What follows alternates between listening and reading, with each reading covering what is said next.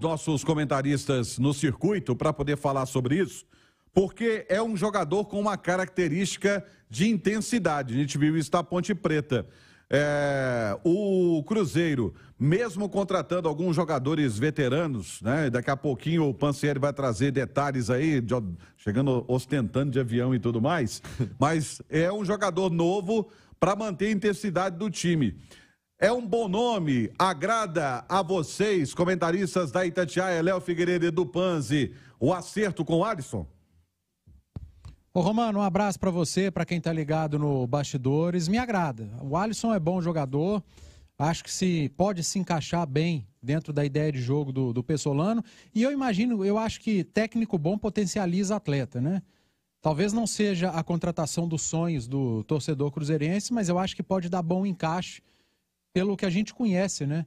De, pelo que a gente conhece de, do Pesolano, né? Da intensidade do Pesolano, é, do jeito de jogar do Pesolano. Ele pede jogadores de meio de campo é, mais intensos. Se o Alisson demonstrou isso na Ponte Preta, ah, Panz, mas ele não foi tão bem na Ponte Preta. Mas, gente, olha o time da Ponte Preta, né? E olha o que fez o Cruzeiro na, na Série B. É óbvio que, pelo menos a gente imagina um Cruzeiro é, mais forte para disputar a Série A o Alisson com um bom treinador o comandando. Então eu acho que ele pode ter um rendimento ainda melhor é, com a camisa do Cruzeiro. Mas repito, talvez não seja aquele jogador que a gente já crave que vai chegar e vai ser titular.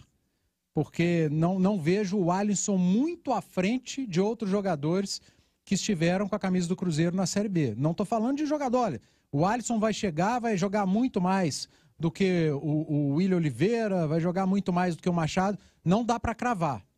Mas o, se o Cruzeiro apostou e insistiu na contratação do atleta, é porque a comissão técnica é, acompanhou de perto o desenvolvimento do jogador durante todo esse ano para tentar contar com ele para a temporada de 23, Romano.